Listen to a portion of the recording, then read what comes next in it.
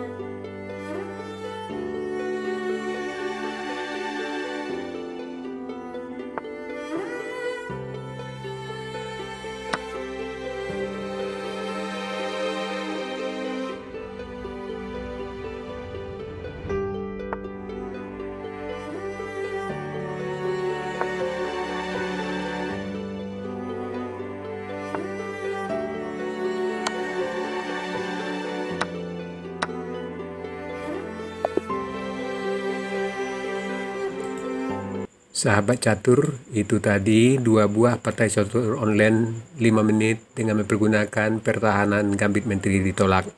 Semoga partai-partai ini bisa menginspirasi Anda yang suka pertahanan ini. Sekarang kita masuk sesi puzzle. Tema puzzle kita kali ini stalemate atau remis. Silakan cari langkah terbaik hitam di sini dan berikan jawaban Anda di kolom komentar. Untuk jawaban yang benar, saya akan mengepinnya agar sahabat-sahabat catur lain juga akan mengetahuinya. Oke sahabat catur, sampai di sini dulu video saya kali ini. Terima kasih buat Anda yang sudah menonton. Sampai jumpa.